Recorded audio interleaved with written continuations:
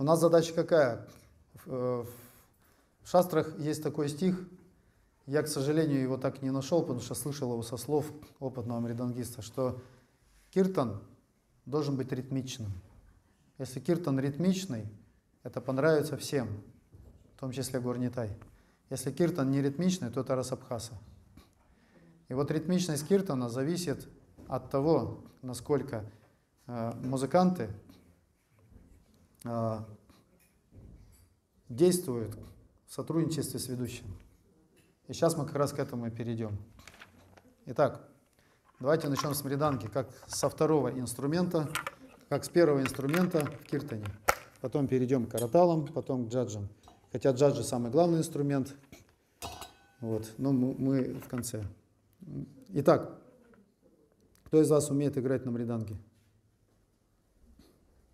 Не играть, точнее, стучать. Стучать. Стучать. Некоторые умеют. И, скорее всего, вас научили стучать вот этот ритм, который называется, я его называю бурум-бурум. Вот этот. Как он называется? А?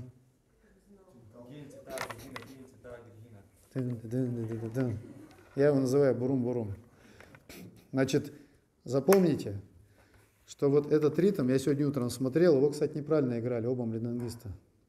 Они пропускали один удар, из-за этого рим, э, этот ритм становился тяжелым и сбрасывающим с волны постоянно ведущего.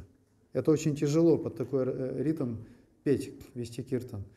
Поэтому этот ритм должен быть исключен до тех пор, пока вы не научитесь его играть, как э, Радхараман Приядас, мой старший сын, или хотя бы как Раджарам Дас, мой средний сын.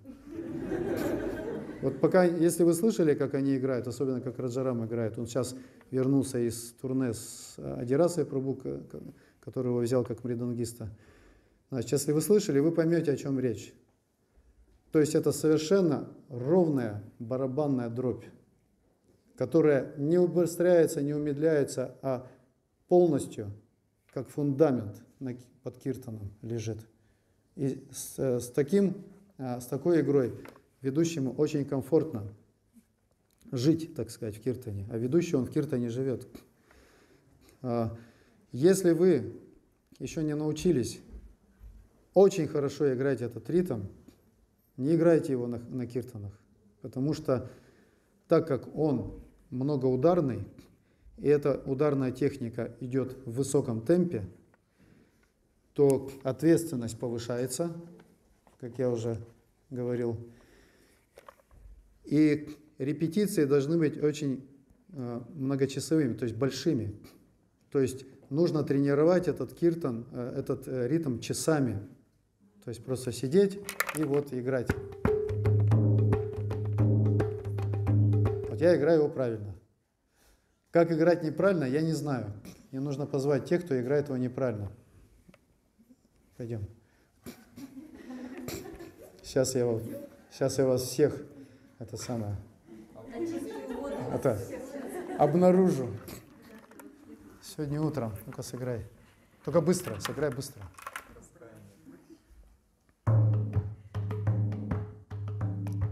Заметьте, здесь не хватает одного удара. Вот. Вот этот один удар, который самый главный, но самый тихий, он теряется, если человек не квалифицирован, а, э, не очень тренирован в этом киртане, потому что у него просто физических сил не хватает проиграть этот удар и э, техники рук не хватает. Чтобы вот этот э, ритм зазвучал как надо, нужно очень много часов его тренировать. То есть я не знаю, как неправильно играть, потому что он мне всегда правильно играется. Он может играться двумя, двумя вариантами, для того, чтобы совсем по-простому, вот так вот. Вот. Или вот так вот. Все, больше играть его никак не надо. Потому что все остальное это уже усложнение, которое нужно еще в два раза больше репетировать. В одиночку, а также э, с ведущим сыгрываться. Запомнили, да? То есть, пока не научились хорошо играть, не начинайте его играть на киртане. Иначе эти киртаны, они становятся подобны э, танцующей беременной корове. Знаете, она бы и рада подпрыгнуть, но у нее не получается, потому что живот не стянет. Вот это тут просто один маленький ударчик, который, которого не достает в этом киртане, он делает киртан вот таким, знаете, взбрыкиванием с точки зрения ритмической. И это очень некомфортно всем. Но никто не может понять, почему некомфортно. А некомфортно вот по этой причине. Потому что он неправильно играется на высокой скорости. Вообще техника игры на мриданге, она такая, что а, в ней как в айкидо.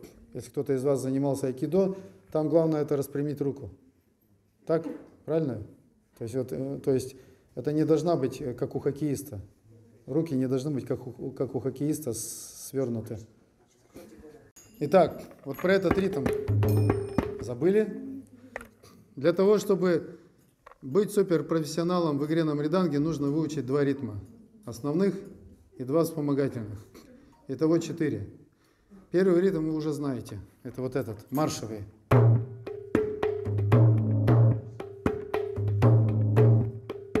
Все знают, да? Ну как, в основном, те, кто учились, они знают. У нас он назывался Дакетета Такетхена. Как называется у вас, не знаю, потому что его в Новорасе уже придумали по-другому название. Вот. Ну и ладно, это совершенно не важно. Я его называю просто ритм маршевый, начальный. Следующий ритм называется у меня «Маленькие дети», потому что я взял его из мультика э, про Бармалея, про доктора Айболита.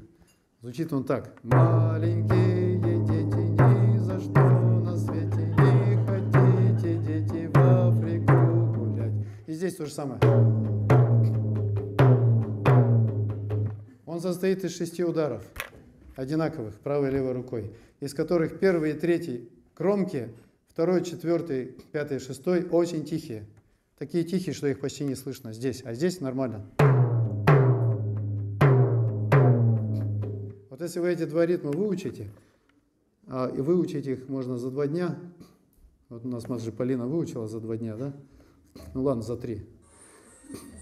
А, если вы их выучите, то в принципе этих двух ритмов вам хватит для того, чтобы играть на сцене даже э, большого симфонического оркестра. Если неожиданно у Адираса Прабу или кого другого а, исчезнут все маридангисты. Вот если вы знаете вот эти два ритма, то в принципе вы сможете сыграть, даже если вы не знаете бурум-бурум. Вот. Следующий э, у нас третий, он не является ритмом, это называется тыхай. И вот тут совсем беда, потому что тыхай это очень сложный, во-первых, он сложный ритмический ритм, называется тавтология, да, ритмический сложный, сложный ритмический ритм. Он сложный, потому что он играется сквозь, я не знаю, как это сказать с точки зрения музыки, но если, например, у нас э, в одном такте 4 четверти, то он играется между этими четырьмя четвертями, и его нужно проесть, то есть пробить, продолбить. Его просто так не сыграть, то есть на трезвую голову. Поэтому играем его очень просто – Смотрите, вообще ТХ играется вот так вот. Самый простой ТХ. Знаете, да? И вот когда его начинаю, следующий вид ТХ это такой. Совсем плохой ТХ. А есть еще такой ТХ, я его медленно сейчас играю.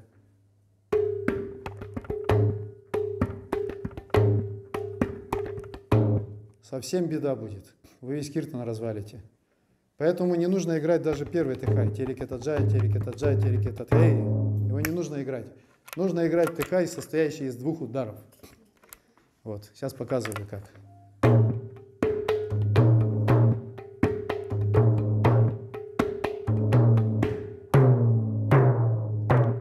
Все. Вот это самое простое. То есть всего-то вам нужно выучить. Маршевый ритм на мриданге, маленькие дети, и вот такой очень простой тхай. Если вы это выучите, это уже три дня. За три дня можно выучить. И отрепетируете, то вам очень легко будет это играть даже с Маладхарой Прабу. Вот. Который очень-очень привередлив к тому, чтобы с ним хорошо играли. Да, ведь Маладхара? Он вышел. Ему невыносимо было слушать мои спекуляции насчет музыки, наверное. Вот к этому также надо добавить, желательно, еще два ритма, из которых один называется зажигательный на третьей скорости. Он играется вместе вот с этим, в перемешку. И он играется на, э, в тот момент, когда киртан подвис на третьей скорости. Вообще, мриданга, если ее сравнивать с автомобилем, то это коробка передач. Понятно, да? Все водители, все знают, что такое коробка передач. Караталы? Нет, каратал. Дайте мне караталы. Одни какие-нибудь. Караталы – это э, головка двигателя. То есть э, это поршни, поршневая система. Это метроном. Они обычно играют почти одинаково. Но есть, конечно, скорости вращения двигателя, да? но в целом они должны играть ровно. А вот скорости на мриданге, они зависят от того, как мридангист их переключает, то есть коробка передач. Вот она.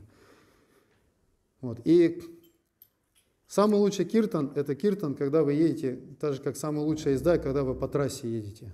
Вот вы выехали, вторую, третью, четвертую, пятую, и едете себе 110 километров на пятой скорости, пока знак не увидите, избавляющий да, скорость. И вот вы едете, сначала вы нагнали, правильно, газ, значит, нажали, довели до 110, например, хотя, по-моему, 90 у нас только разрешено, ну хорошо, 90. И вот затем наступает э, эффект зависания, то есть вы довели до 90 э, километров и едете на этой скорости определенное время, и вы как бы парите, да ведь, водители? Потом начинается немножко опять съезжать назад, вы опять газ поддали, опять выехали и опять парите. То же самое на киртане. Вот этот ритм, это как вы, вы набираете скорость. Набрали и какое-то время ездите, едете на этой скорости. Несколько минут. А затем переключаетесь вот на такой ритм. Он очень простой, хотя звучит сложно, кажется.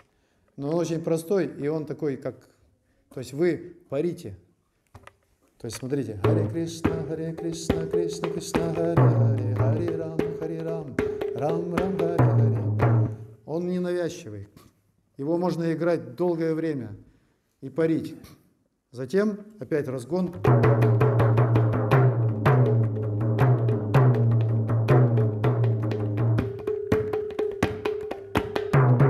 И вот так чередуете. И так можно часами играть на третьей скорости, и вы не будете уставать.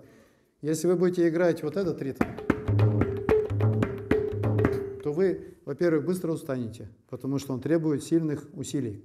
Во-вторых, у вас будет теряться вот это вот одна из, один из ударчиков. И из-за этого киртан будет как танцующие коровы. Очень некомфортно для всех. Его, конечно, можно долго играть, но вот этого все устают, устают, потому что он загоняется, такой киртан, из-за того, что ритмика не очень профессиональная. Поэтому достаточно вот этой сбалансированности. Вот эти три ритма. И на закуску очень хороший ритм, который похож на ритм вот этот вот бурум-бурум. Но гораздо проще и гораздо динамичнее, комфортнее и ровнее. Это ритм вот такой.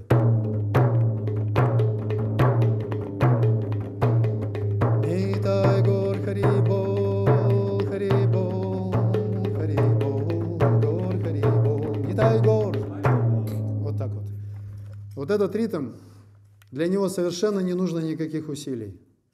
Он из всех самый малоэнергозатратный. Его можно играть бесконечно долгое время, главное его научиться играть. Он немножко сложноват, так же, как и Техай. Но если вы научитесь его играть правильно, а, расставляя приоритеты такие, что здесь можно хоть сколько ударов, а здесь удары должны быть очень сбалансированные, из которых один только сильный.